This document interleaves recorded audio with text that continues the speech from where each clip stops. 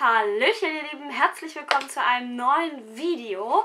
Und zwar möchte ich heute euch, nachdem endlich alle meine Bücher da sind und auch alle in den Regalen stehen, möchte ich euch zum ersten Mal meine begonnenen Buchreihen vorstellen.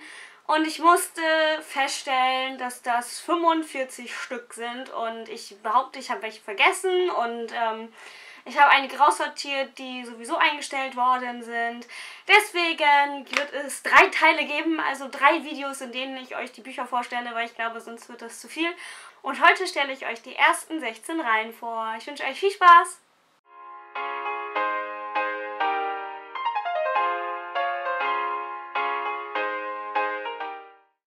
Ich habe unheimlich viele Buchreihen begonnen. 45 Stück habe ich eben schon erzählt und ähm, das sind mehr als ich erwartet hatte.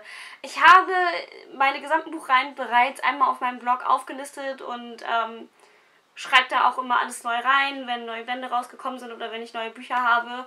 Äh, den Link dazu findet ihr natürlich unten in der Infobox. Da könnt ihr schon mal reinstöbern, wenn ihr wollt. Denn immerhin sind wir ja jetzt erst beim ersten Video von dreien. Und zwar habe ich euch aus meinem gelesenen Regal jeweils den ersten Band der Reihe rausgesucht, den, die ich euch vorstellen möchte. Und äh, ja, es sind alles Reihen, die ich angefangen habe zu lesen und die ich noch nicht abgeschlossen habe. Also ich bin gespannt, was ihr dazu sagt. Kurze Info noch vorweg.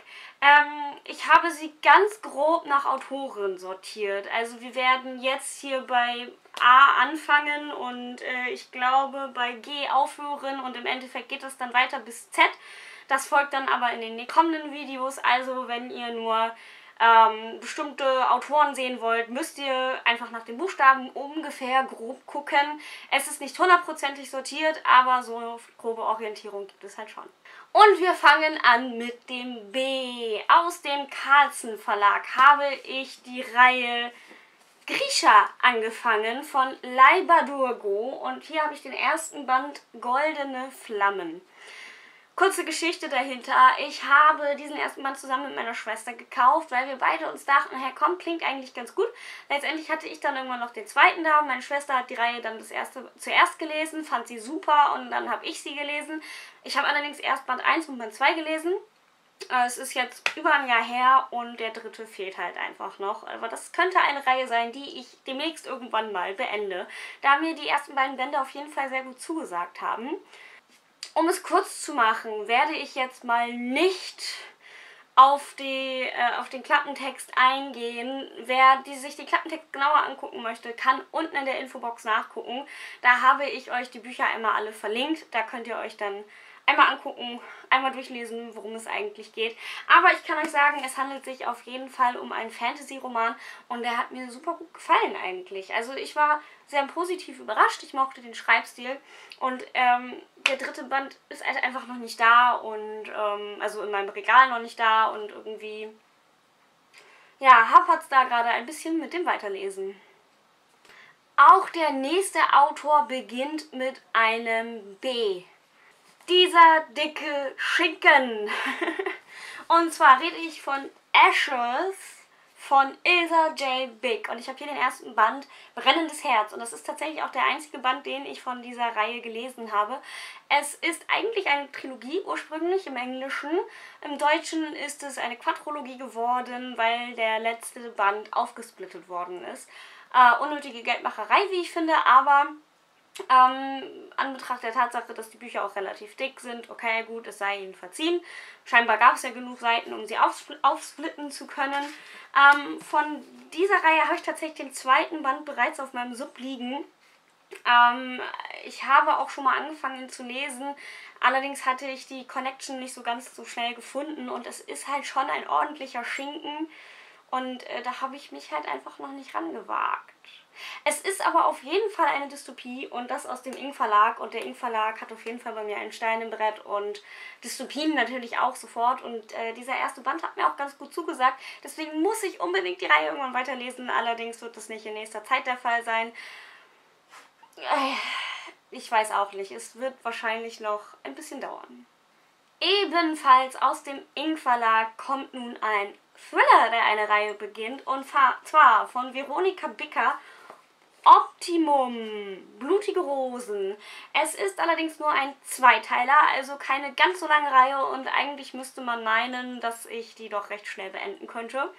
Ähm, das ist auch eigentlich ein Plan. Also der zweite Band ist bei mir halt noch gar nicht eingezogen. Aber der erste Band hat mir eigentlich ganz gut zugesagt, auch wenn es ein Thriller war. War ich eigentlich ganz positiv überrascht, denke ich. Und zumindest habe ich es positiv in Erinnerung und ähm, ja, also letztendlich fehlt mir einfach der zweite Band und dann wahrscheinlich die Zeit, ihn zu lesen. Ich muss auch sagen, dass ich jetzt nicht unbedingt so ein großes Bedürfnis habe, die, diese Reihe direkt schnell zu beenden. Wenn ich den zweiten Band jetzt anfangen würde, dann eigentlich mehr aus der Intention heraus, diese Reihe dann tatsächlich mal, naja, zu beenden. Der nächste erste Band kommt aus dem Lux Verlag. Und zwar handelt es sich um Nightshade von Andrea Kremer. Ist das nicht ein schönes Cover? Es ist tatsächlich schon eine ewig lange Zeit her, dass ich diesen ersten Band gelesen habe. Aber es geht um Werwölfe. Oder zumindest um Wölfe und Menschen. Und ich glaube, es waren Werwölfe. Und Rudel und Intrigen und eigentlich fand ich es ganz schön. Also es war jetzt kein super Top-Buch, aber ich fand es eigentlich ganz gelungen. Den zweiten Band habe ich tatsächlich mittlerweile auch in meinem Regal stehen. Ich glaube allerdings, dass es eine Trilogie ist, also wird da noch ein dritter Band hinterherkommen müssen. Aber mit dem zweiten Band liebäugle ich tatsächlich zwischendurch schon immer mal wieder. Und ich habe ihn mir ja nicht ohne Grund gekauft. Also ich denke, diese Reihe werde ich irgendwann mal zu Ende lesen. Insbesondere dann, wenn ich mal wieder Lust auf Werwölfe habe. Weiter geht es mit einer Reihe, die mir unheimlich gut gefallen hat. Und ich weiß nicht, warum ich sie noch nicht beendet hat, habe. Christine Kascher mit Die Beschenkte. Das ist der Auftakt der Reihe Die Sieben Königreiche. Ich bin mir gerade nicht so ganz sicher. Weiter geht es auf jeden Fall mit Die Flamme. Ne? Das Buch steht auch hier hinter mir im Regal. Ich weiß gerade nicht, ob ihr es sehen könnt. Und folgt ich weiß tatsächlich nicht, wie der letzte Band heißt, aber da kommt ein dritter Band hinterher. Und die ersten beiden haben mir so, so sehr gefallen. Und das sind auf jeden Fall Charaktere, die zusammenhängen, aber hier wird halt ähm, die Katza wird hier im Mittelpunkt, steht hier im Mittelpunkt. Im zweiten Band steht jemand anderes im Mittelpunkt. Und den Mittelpunkt des dritten Bandes habe ich im zweiten Band schon kennengelernt. Und ich will eigentlich unbedingt weiterlesen, weil das so eine schöne Reihe ist. Aber ich habe einfach noch nicht den dritten Band bisher bei mir und ähm, doch, ich weiß, dass diese Reihe, diese Reihe will ich auf jeden Fall bald mal beenden, weil sie mir sehr zugesagt hat. Und zwar habe ich diesen ersten Band gar nicht von mir aus gekauft, sondern ich habe ihn gewonnen. Ich habe ihn, ich glaube, vom Verlag oder von einem Bücherportal, ich bin mir gerade nicht sicher, ich habe ihn auf jeden Fall zugeschickt gekriegt und äh, in so einem kleinen Paket und da war dieser erste Band mit drin. Ansonsten hätte ich ihn mir wahrscheinlich niemals gekauft, aber ich bin super, super froh, dass mir so quasi ermöglicht worden ist, dieses Buch zu lesen und diese Reihe einfach zu beginnen. Als nächstes folgt eine Never-Ending Story. Wobei mittlerweile hat sie vielleicht geendet. Und zwar rede ich von House of Knights von PC Cast und Christine Cast. Ähm, dieses Buch habe ich direkt am Erscheinungstag gekauft, den ersten Band, und ich habe es geliebt. Dann folgte der zweite und der dritte und ich fand sie unheimlich toll alle. Dann folgte der vierte und der fünfte, waren auch noch echt gut. Und der sechste und siebte und achte und neunte und zehnte und elfte und zwölfte. Ich glaube, es sind mittlerweile zwölf Bücher. Ich habe acht gelesen, wenn mich nicht alles täuscht, und der neunte steht auf meinem Sub. Eventuell ist es auch der Achter, der auf meinem Sub steht und ich habe sieben, gelesen. Ich bin mir gerade nicht so ganz sicher. Ursprünglich sollten es tatsächlich acht Bücher werden. Ähm, das wäre voll eine okaye Länge gewesen und jetzt sind es einfach zwölf Bücher. Und weil ich, als ich dann wusste, wie viel da noch hinterherkommen wird, habe ich tatsächlich, hat, hat mich so ein bisschen der Reiz verloren. Habe ich so, hat mich so der Reiz verlassen einfach. Also ich, ich war dann nicht mehr so ganz gepackt von der Reihe, weil ich so wusste, es kommen noch einfach unheimlich viele Bücher hinterher der Auftakt hat mir richtig gut gefallen. Die ganze Story an sich hat mir gut gefallen. das, obwohl ich jetzt nicht so viele Vampirreihen lese, sag ich mal. Also ich bin jetzt nicht übermäßig ein Vampir-Fan, eigentlich eher Werwolf.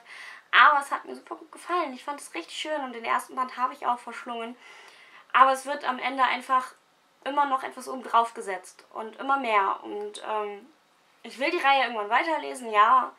aber ich weiß noch nicht wann und ähm, vielleicht will ich mir erstmal alle Bücher, also alle Reihe, alle Teile der Reihe kaufen, bevor ich dann letztendlich irgendwann mal sage, so jetzt ziehe ich das mal durch und lese die Reihe weiter. Ich bin mir noch nicht so ganz sicher. Aber als nächstes folgt wieder eine Trilogie. Und zwar eine Trilogie, von der ich schon zwei Bände gelesen habe und der dritte sogar schon auf meinem Sub steht. Deswegen kann sie theoretisch bald beendet werden. Und zwar rede ich von Kasia und Kai von Eddie Condi aus dem Fischer Verlag. Und ja, wie gesagt, der dritte Band ist schon bei mir und eine Reihe, ähm, um der ich mich ganz lange drum geredet habe. Und dann habe ich sie irgendwann mal angefangen und den zweiten Band gelesen und ich fand sie auch ganz gut. Aber mittlerweile weiß ich einfach tatsächlich nicht mehr so ganz, worum es ging. Es ist eine Dystopie.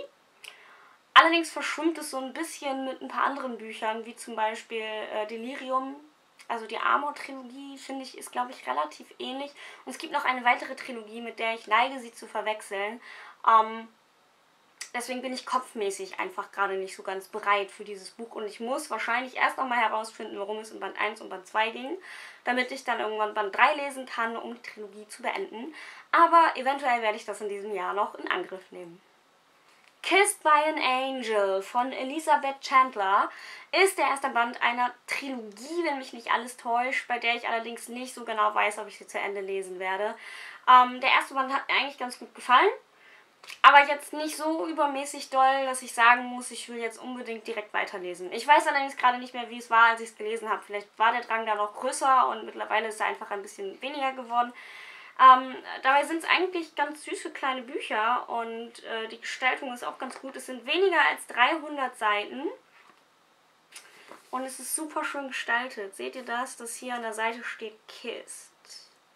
Und als der nächste Band heißt Loved by an Angel und dann wird hier Loved stehen. Also die Bücher sind schön gestaltet, es hat mir auch ganz gut gefallen. Ich habe eben drin gesehen, ich habe dem Buch damals drei Sterne gegeben. Äh, ich habe auch nur einen Tag gebraucht, um es zu lesen, aber es ist mittlerweile einfach fünf Jahre her, dass ich dieses Buch gelesen habe. Deswegen weiß ich nicht, wie schnell ich jetzt die Reihe weiter fortsetzen werde oder ob überhaupt. Jetzt folgt eine meiner Lieblingsreihen, City of Bones, Chroniken der Unterwelt von Chroniken der Unterwelt von Cassandra Clare. Und zwar habe ich die ersten drei Bände gelesen. Ähm, das Buch, also die Reihe wird ja auch total super gehypt und ich habe lange, lange gebraucht, um damit endlich mal anzufangen. Und die ersten drei Bände haben mir so gut gefallen und ich habe den vierten tatsächlich schon auf meinem Sub stehen.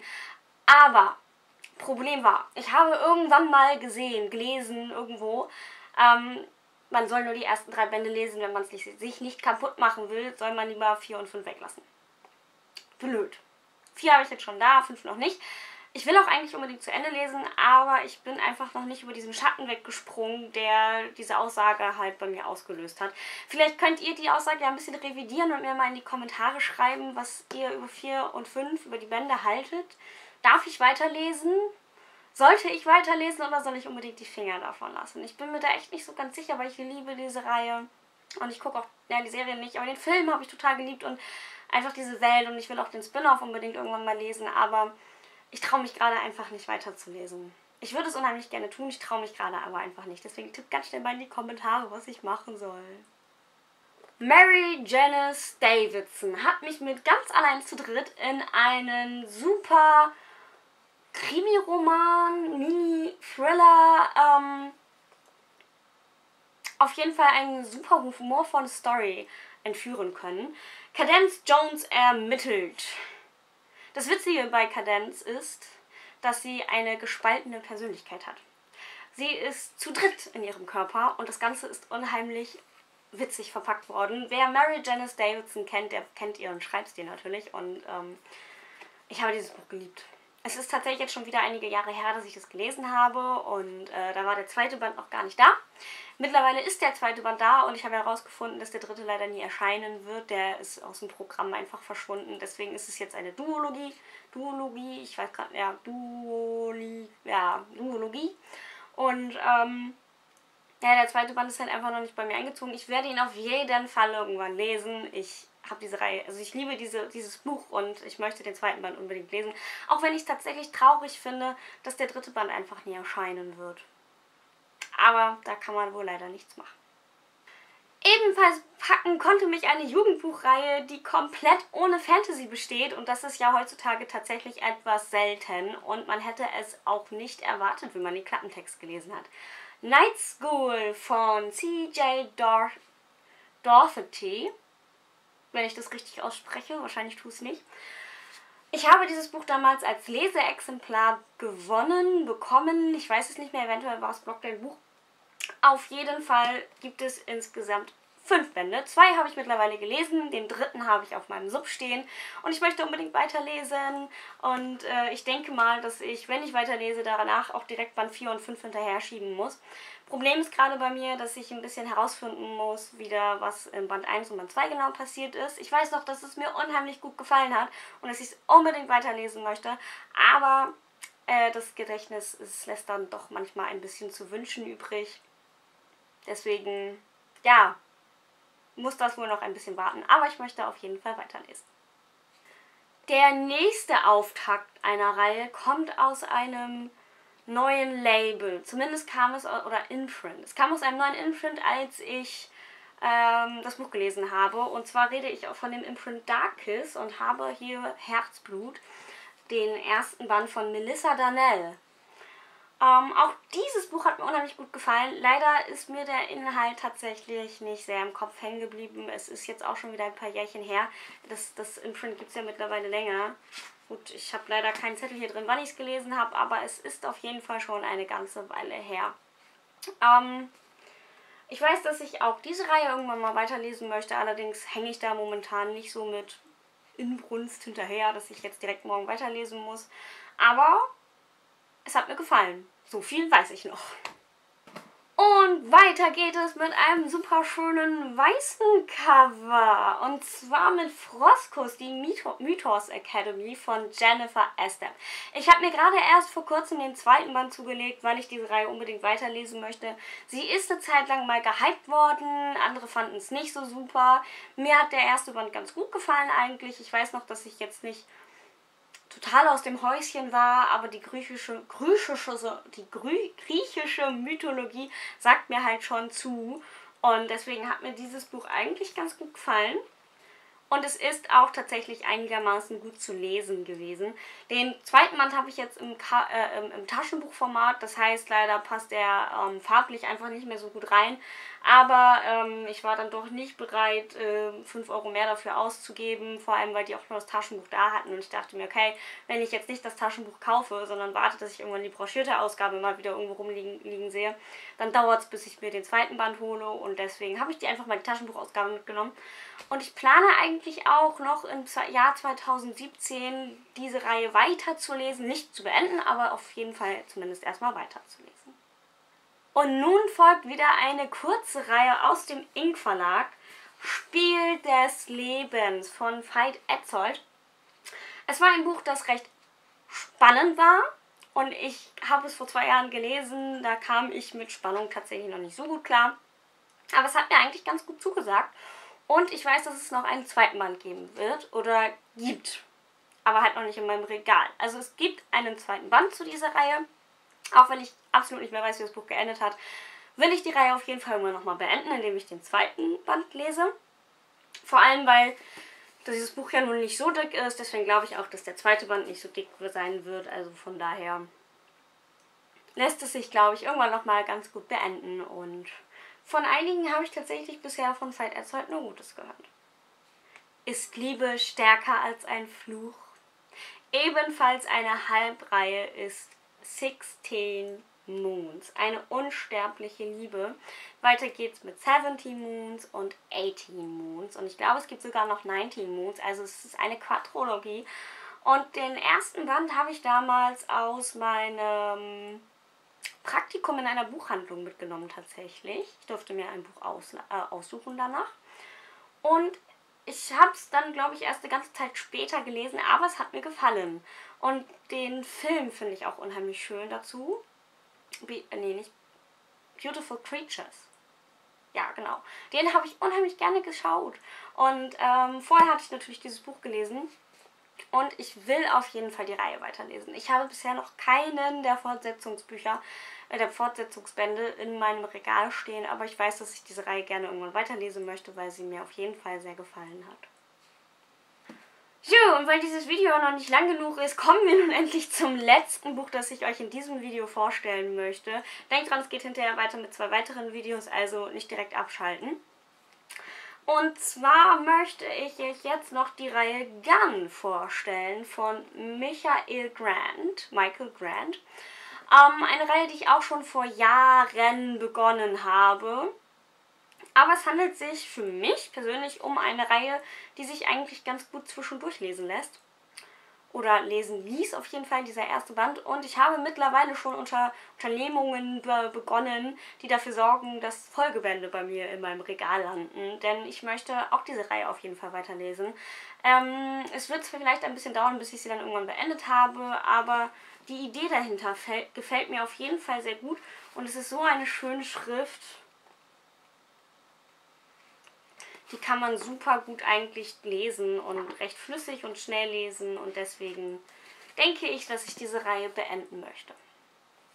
Ja, und mit diesen ersten 16 Reihen, die ich beenden möchte, möchte ich dann auch langsam mal das Video beenden. Es ist wirklich lang genug geworden. Ich hoffe, ich habe euch nicht gelangweilt. Ähm, Nochmal die Info, es werden noch zwei weitere Videos folgen. Ich werde es nicht direkt schaffen, es jetzt direkt im Nachhinein aufzunehmen. Deswegen kann es sein, dass der Aufbau dann ein bisschen anders sein wird oder dass es noch ein bisschen dauert, bis die Folge, Folgevideos erscheinen. Vielleicht bin ich aber auch clever genug und kann direkt in, am nächsten Mal, beim nächsten Mal, wenn ein Video erscheint, euch den, das, das Video hochladen. Aber das werdet ihr dann sehen. Ich werde euch auf meinen Social Medias äh, informieren, wie das aussieht und guckt auch gerne in die Infobox, da stehen alle wichtigen Infos drin. Ja, und jetzt ist meine Frage an euch. Habt ihr eine dieser Reihen bereits beendet oder auch nur angefangen? Und wie viele Reihen habt ihr eigentlich unbeendet, also angefangen auf jeden Fall, zu Hause rumstehen? Sind das auch so viele? Ich meine, ich möchte noch mal in Erinnerung rufen, ich habe jetzt 45 Reihen, die ich euch vorstellen möchte. Das hier waren nur die ersten 16. Kennt ihr davon schon welche? Hinterlasst mir doch gerne einen Kommentar. Ich freue mich super mega auf, eure Unter auf eine Unterhaltung mit euch und eine Diskussion. Und ansonsten schaut gerne mal hier an der Seite vorbei. Vielleicht ist der nächste Teil des Videos ja schon da und ich kann euch die nächsten Reihen vorstellen. Dann klickt gerne hier an der Seite mal rein. Ansonsten lasst mir doch gerne ein kostenloses Abo da. Dann ver verpasst ihr auch absolut gar nichts. Und ja, dann sage ich vielen Dank fürs Zuschauen und bis zum nächsten Mal. Bye, bye.